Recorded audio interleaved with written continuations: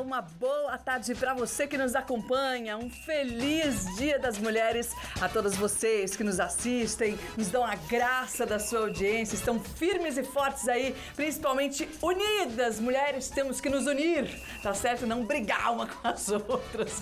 Feliz Dia das Mulheres a você, a você que também nos aguenta naqueles dias, não é? Você que nos acompanha, seja muito bem-vindo. Obrigado por estarem aqui com a gente, viu? Hoje no Donos da Bola, muito esporte, jogos eh, e eventos esportivos também do fim de semana e, claro, a sua participação ao vivo através do nosso Facebook. E eu começo com ele, o meu parceiro Antônio Carmo. Boa tarde. Mulheres unidas jamais serão Jamais vencidas. serão vencidas. Boa tarde, Andrés, para você, a todo mundo que nos acompanha nessa data.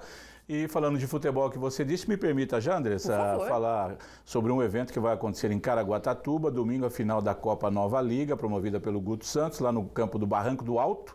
Decisão a partir das 10h30 da manhã, o terceiro lugar, e logo depois o jogo final, envolvendo as equipes do Lion Futebol Clube e do Unidos eh, das Palmeiras.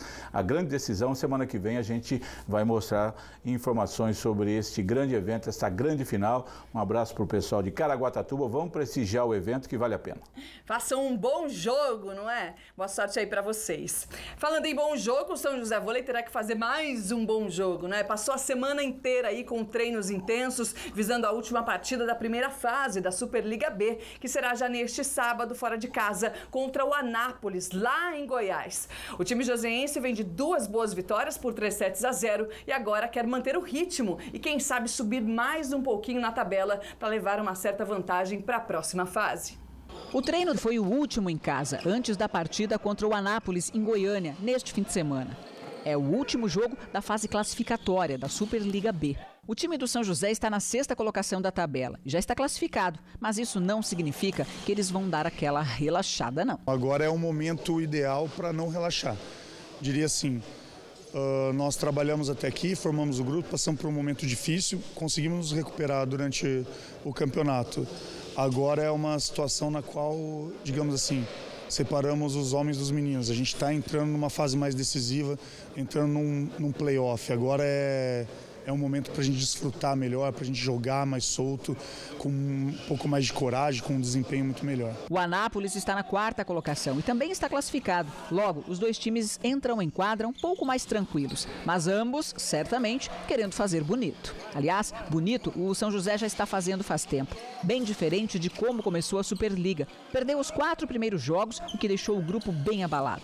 Depois, iniciaram uma sessão recuperação e não pararam mais. retomamos e não é achar que está ótimo, né? Não, tem que continuar evoluindo porque a cereja do, a cereja do bolo está vindo aí, que é o playoff. É mata-mata, quem vencer duas partidas já vai para a semifinal e esse é o objetivo da equipe. O time viaja completo. Para o técnico, é a chance de se soltar um pouco mais, já que eles têm essa, digamos, folga na pressão de classificação. Não muda a nossa posição na tabela, mas pode definir o nosso confronto das quartas de final.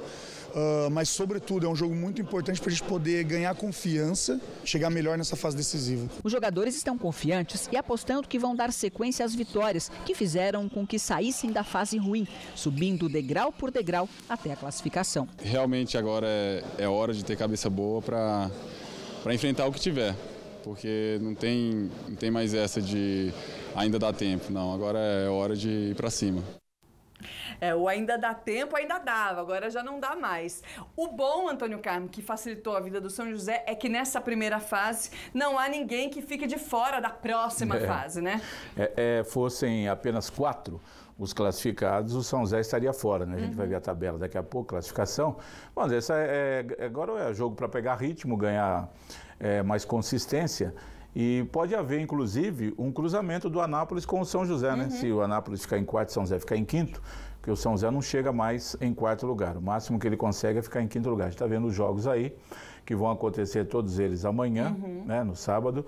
E o jogo de São José é o primeiro, depois ele tem ganhando, ele fica torcendo contra o juiz de fora. A gente vai ver a classificação para que o juiz não ganhe do Brasília e aí ele possa então pular. O São José tem seis pontos, o juiz de fora tem sete. São José ganhando do Anápolis, ele vai a nove, vai para quinto lugar e mantém o Anápolis em quarto.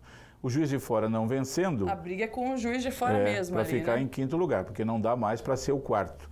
né? E, e eu acho que mais que o juiz de fora pega o Brasília, né? tem essa baba aí também, então é. acho que não. Só se o Brasil É. resolver mostrar É. alguma coisa agora para Então, fazer bonito você- no final do, do, dessa fase Mesmo, é, classificatória. mesmo vencendo o jogo amanhã lá em Anápolis, em Goiás, é, o juiz de fora ganhando, o São Zé vai se manter na sexta posição, ele vai pegar o terceiro colocado. Uhum. Com aquele lance, fazer um jogo em casa e dois fora, né? É, essa é a dificuldade, Andressa. O- Esse é, a- a- emparelhamento dos jogos para outra fase, a primeira fase todo mundo contra todo mundo, foi para que as equipes pegassem ritmo, pudessem se acertar e, e não tivesse uma eliminação precoce já tal. E aí faz o emparelhamento, né? E o emparceramento. Bom, então aí como é que fica? Os que ficam entre, entre os quatro primeiros vão ter sempre vantagem, notadamente o primeiro e o segundo. E isso o São Zé não consegue mais. Então agora é hora de jogar o que pode.